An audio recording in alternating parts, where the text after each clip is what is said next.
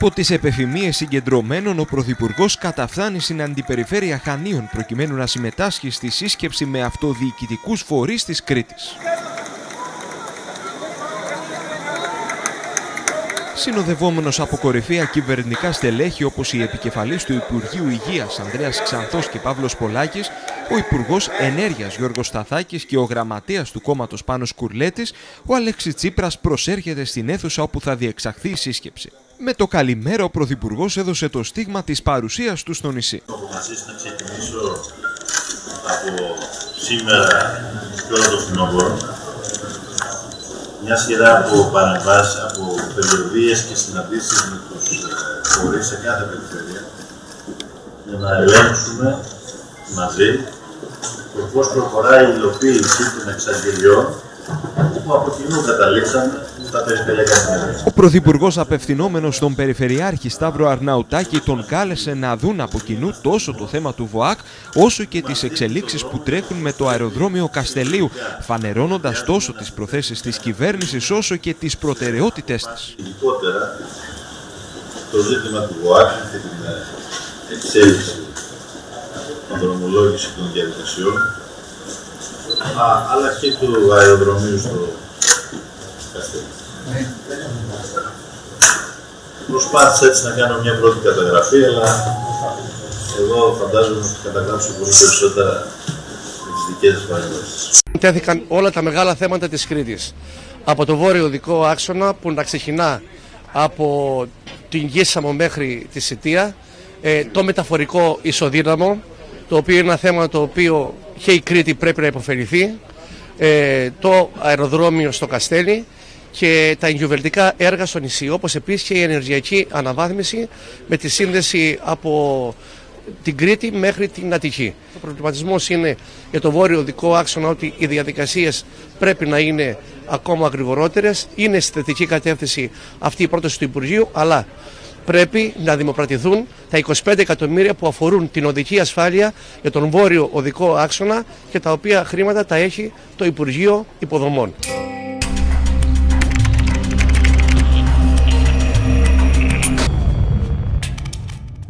Ρολοκλειδί στις προσπάθειες επίσπευσης των διαδικασιών για αναπτυξιακά έργα, η υλοποίηση των οποίων έχει δρομολογηθεί, αναλαμβάνει ο Παύλος Πολάκης, ο οποίος πλέον με απόφαση του Πρωθυπουργού θα συντονίζει τον σχεδιασμό με στόχο να ξεπεραστούν δυσλειτουργίες και γραφειοκρατικές αγκυλώσεις όπως χαρακτηριστικά τονίστηκε. Έδωσε εντολή ο κ. Πρωθυπουργός στον κ. Πολάκη να συντονίσει όλο αυτό το έργο μεταξύ των υπηρεσιών των Δήμων και της Περιφέρειας για να μπορούν να τρέξουν γρηγορότερα και να ξεμπλοκάρουν οι γραφειοκρατικές διαδικασίες. Και πολλά έργα αυτή τη στιγμή δεν εξελίσσονται όπως πρέπει ή δεν έχουν ξεκινήσει ή δεν ολοκληρώνονται λόγω μιας ε, απίθανης ε, γραφειοκρατίας και δυσλειτουργιών του κρατικού μηχανισμού και των διάφορων αλληλοεπικαλύψεων αρμοδιοτήτων διαφορετικών Υπουργείων και Υπηρεσιών για το οποίο πραγματικά είναι κρίμα δηλαδή ε, να έχουν δοθεί τόσα χρήματα και αυτό να μην έχει μεταφραστεί ακόμα και παντού σε έργο.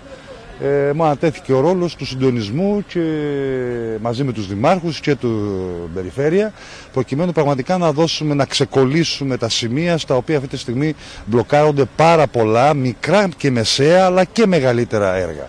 Ο Πρωθυπουργός υποστήριξε ότι την τελευταία τριετία έχουν εγκριθεί ικανοποιητικές πιστώσεις προς την περιφέρεια Κρήτης για την υλοποίηση έργων σε σύγκριση πάντα με προηγούμενα χρόνια. Τα τρία αυτά χρόνια δρομολογηθεί πιστώσεις ικανοποιητικές, μεγαλύτερες σε σύγκριση με όλα τα προηγούμενα χρόνια. Σημασία όμως δεν έχει μόνο η δρομολόγηση των πιστώσεων, αλλά και να μπορέσουμε να ξεπεράσουμε γραφειοκρατικές δυσκολίες και εκδόσεις εξαίσθηση από αυτές τις για να ξεκινήσει η υλοποίηση πολύ σημαντικών έργων για την περιοχή. Ο Αλέξης Τσίπρας δεν παρέλειψε να αναφερθεί και σε έργα που έχουν σχεδιαστεί και υλοποιούνται στα Χανιά, ενώ ενδιαφέρον παρουσίασε και η σύντομη στοιχομηθεία που είχε με τον Δήμαρχο Χανίων Τάσο Βάμβουκα. Για τα Χανιά και για τον νομό, εκτός από σημαντικά έργα σαν αυτά που είπαμε πιο πριν, Βαλιόχωρα, Κάντανος, ε, Αποκόρονας.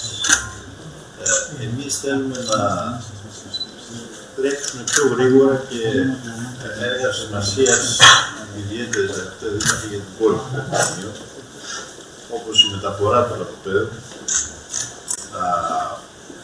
και μια σειρά από άλλα τα οποία θα κουβεντιάσουμε.